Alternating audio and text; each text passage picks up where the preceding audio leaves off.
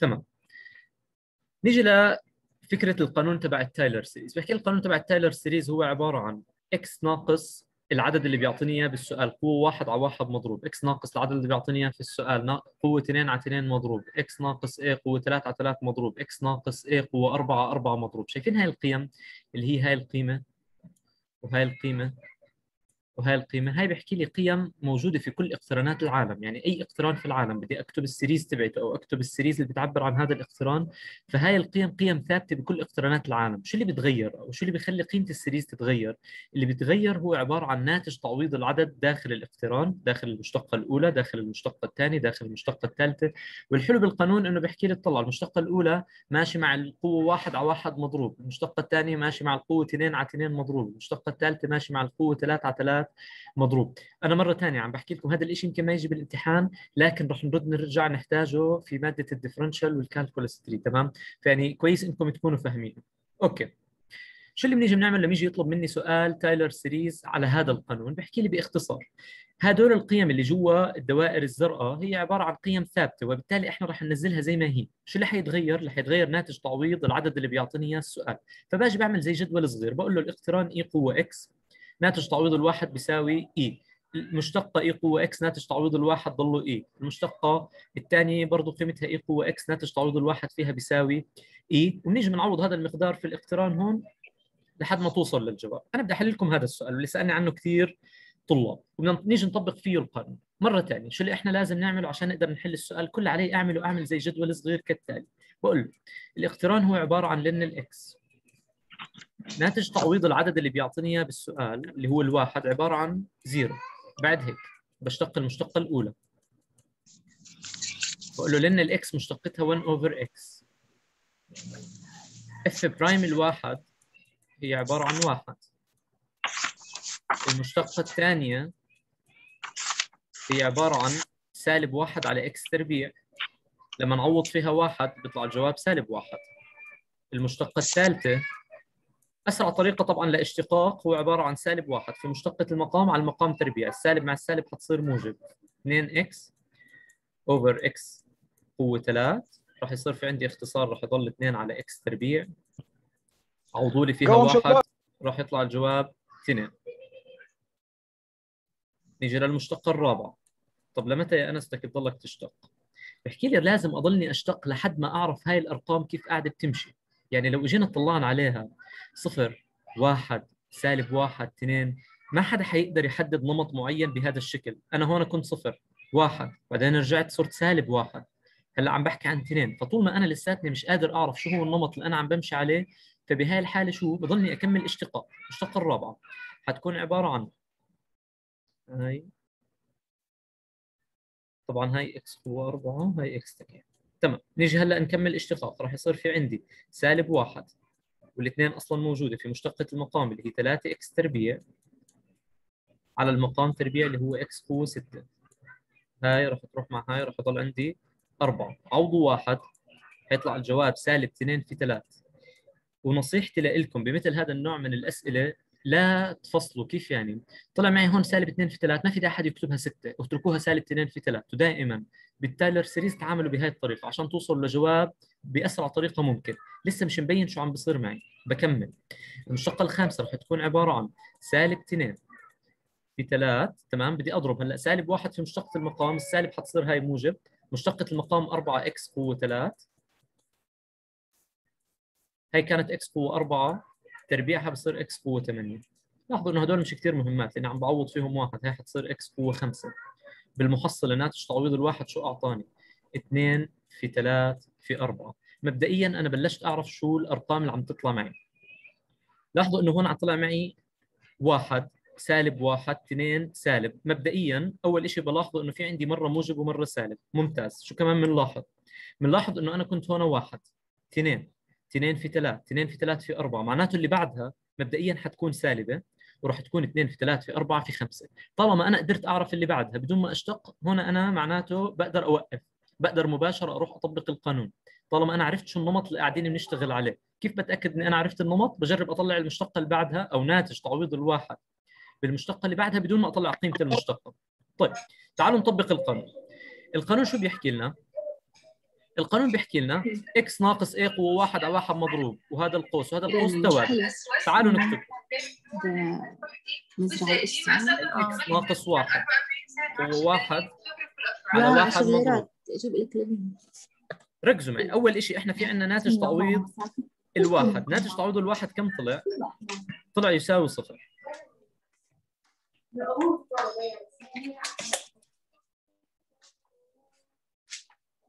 بس بعد إذنكم الصوت.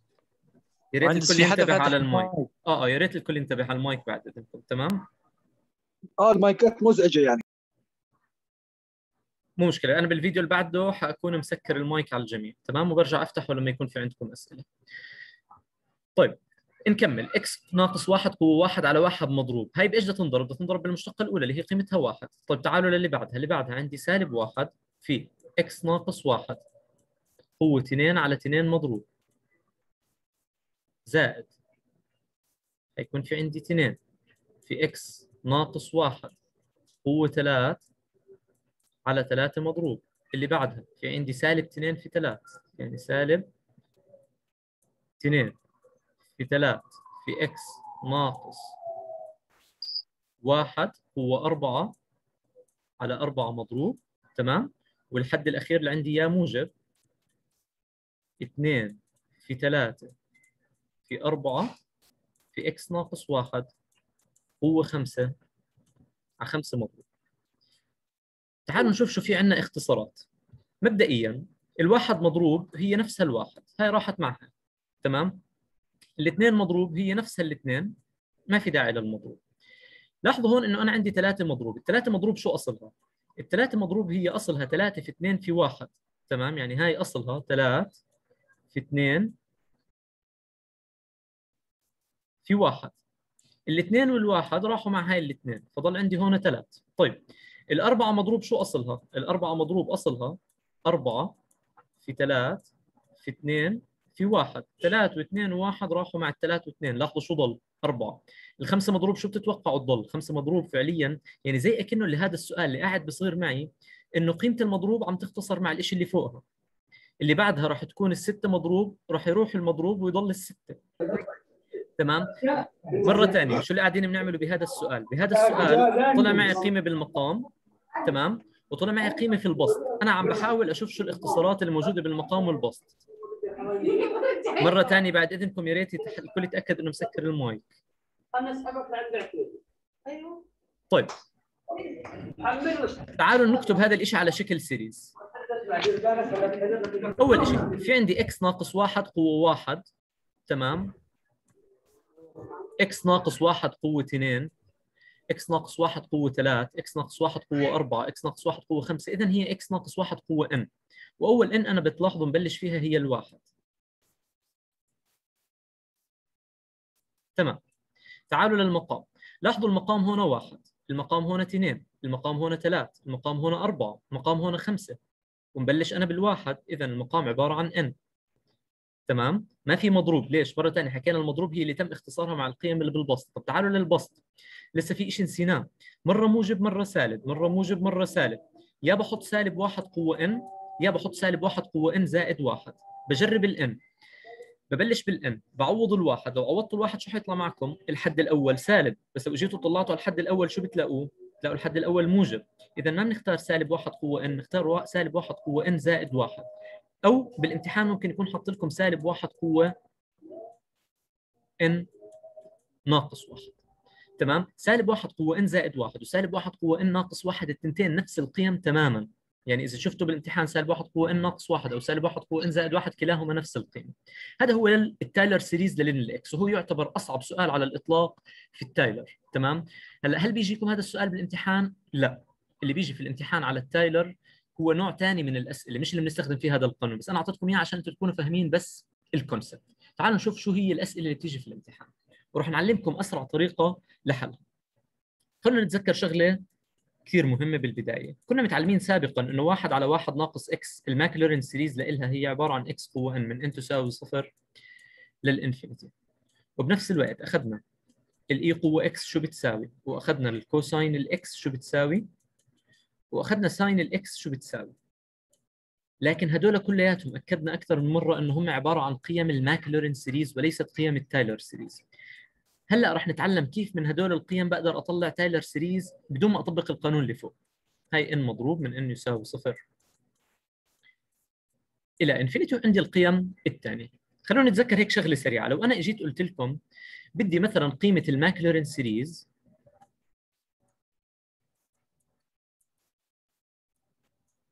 ل e قوة 3 x. شو اللي رح نيجي نعمله؟ إذا حكى لي كلمة Maclaurin series أو حكى لي كلمة power series أو حكى لي كلمة Taylor series about x يساوي صفر أو سي تساوي صفر أو k تساوي صفر أو a تساوي صفر.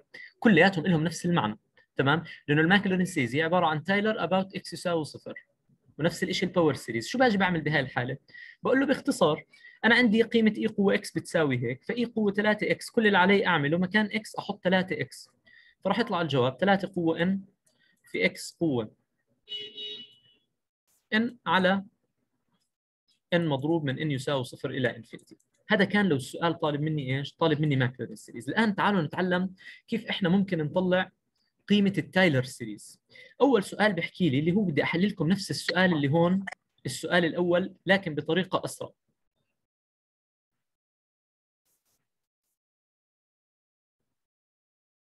شوفوا كيف ممكن نحل هذا السؤال.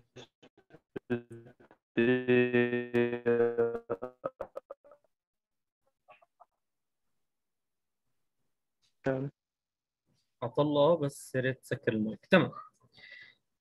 أسرع طريقة لحل هذا السؤال. نيجي بنحكي كالتالي. لما يطلب منكم شوفوا القاعدة كثير سهلة. لما يجي يطلب منكم Taylor series تمام حوالين رقم معين تيجوا بتطلعوا نفس ال Maclaurin series. تستخدموا طريقة ال Maclaurin series تمام؟ بس بدل ما تيجوا تطلعوا ل e قوة x تيجوا بتطلعوا ل e قوة القوس تبع x بإيش بتستبدلوه؟ بتستبدلوه ب x ناقص العدد اللي بيعطيكم إياه بالسؤال. مرة ثانية نستبدل القوس تبع إكس باكس ناقص العدد اللي بيعطينا إياه بالسؤال. طيب ننتبه لشغلة كثير مهمة. هل أنا بأجي أطلع لهي؟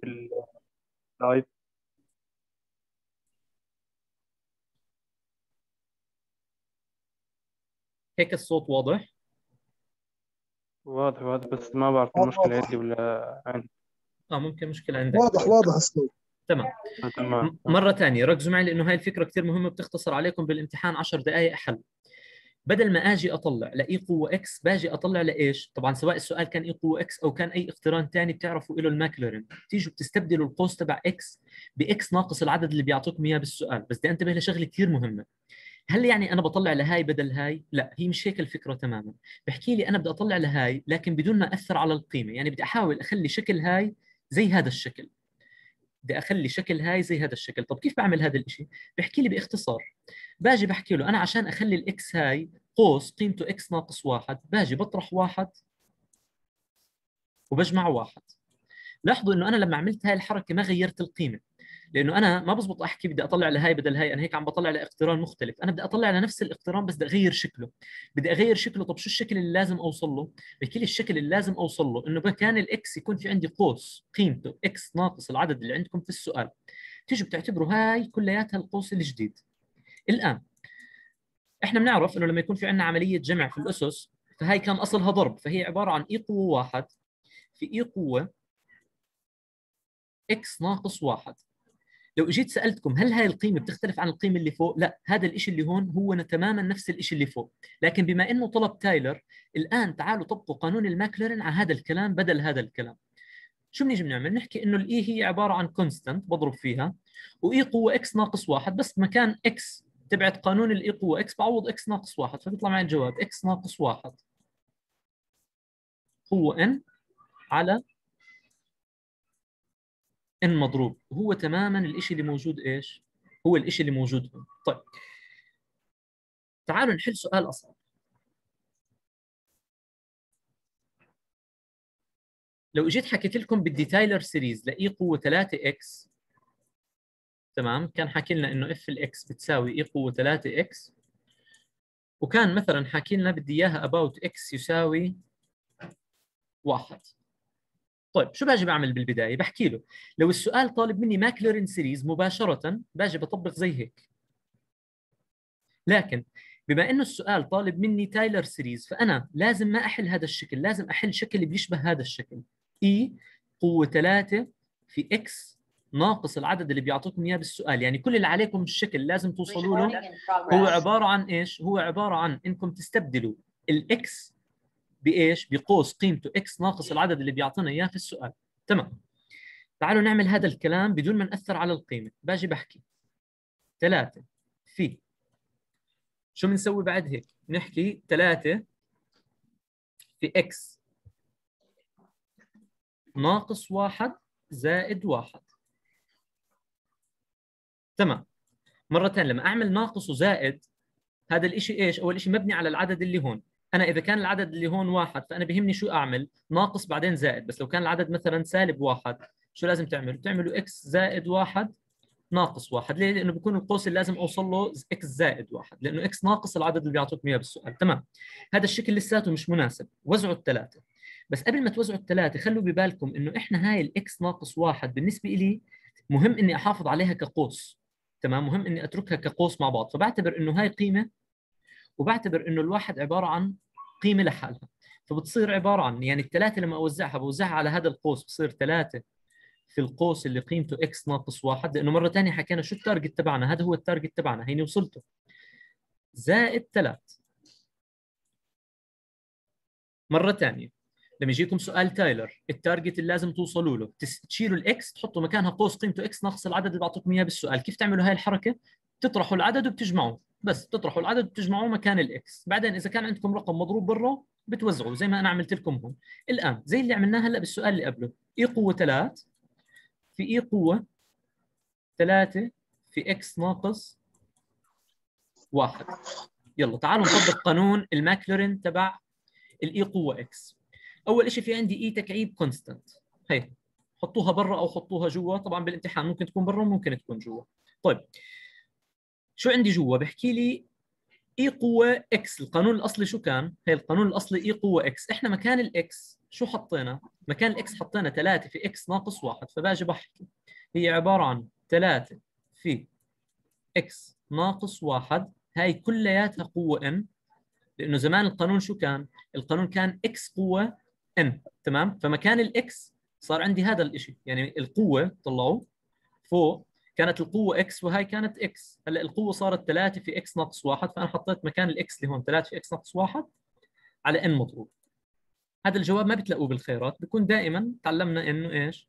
ال n بيوزعها فراح تلاقوا له كالتالي e تكعيب برا من جوا. في عندي 3 قوة n و x ناقص 1 قوة n على n مضروب. هلأ هذا الشيء لحد هذا السؤال شرحه الدكتور فراس؟ تعالوا ناخذ لو بدهم يلعبوا بالسؤال أكثر من هيك تمام؟ لو حبوا يشوفوا أنتم جماعة فاهمين ولا حافظين شو ممكن يجيبوا لنا بالامتحان. لو جيت قلت لكم بدي Taylor series ل f ال x بتساوي خلينا نحكي مثلا واحد على إكس about إكس يساوي واحد. هلا هذا السؤال اللي بيجي بشوفه في الامتحان أمامه خيارين. الخيار الأول إنه يجي يطبق القانون الطويل الطويل وراح يطلع معه سؤال بيشبه الحل تبع سؤال ال ln اللي حليناه قبل شوي تمام؟ حيطلع بيشبهه شوي. ومش غلط إذا بتحبوا تتدربوا عليه لكن إحنا اتفقنا إنه إحنا بهمنا طريقة سريعة للحل بالامتحان. عشان أطلع طريقة سريعة باجي بسأل حالي سؤال. هل هذا الشكل بيشبه أحد أشكال ال Maclaurin series اللي أنا حافظها؟ طبعا شو أشكال Maclaurin series اللي إحنا حافظينها؟ الأربع أشكال اللي هون هي هي أشكال ال Maclaurin series اللي إحنا حافظينها؟ لو إجينا ركزنا هو بيشبه هذا الشكل. طالما بيشبه هذا الشكل على طول بفكر في الطريقة السريعة. باجي بحكي أنا بما إنه طالب مني Taylor series فمعناته ال target تبعي مش إني أطلع لهذا المقدار. ال target تبعي إني أطلع لواحد على بستبدل ال x في قوس قيمته x ناقص واحد. هذا هو ال target اللي أنا بدي أطلع له ال Maclaurin series. فباجي بحكي عشان أوصل لهذا ال target بطرح واحد وبجمع واحد. هذا القوس هو اللي بيهمني. تمام. خلونا نرتب معادلتنا بشكل بنعرف نتعامل معه. بس حطوا الواحد بالبداية وحطوا القوس بعده. حلو. بلشنا نرجع للشكل هذا. إذا بتتذكروا الشكل هذا شو كانت شروطه؟ هاي لازم تكون واحد هاي لازم تكون واحد وهي الإشارة شو لازم تكون؟ نيجاتيف. بينما إذا إجيتوا طلعتوا الإشارة اللي عندكم هون إيش؟ موجبة. شو بتيجوا بتعملوا بتيجوا بتعملوا سالب سالب فبتصير عندكم واحد ناقص ناقص x ناقص واحد معناته بدل ما أحكي x قوة m كانت زمان x شو صارت؟ صارت عبارة عن هذا المقدار اللي هو عبارة عن سالب واحد قوة m في x ناقص واحد قوة m تمام؟ طبعا مش مقسومة على شيء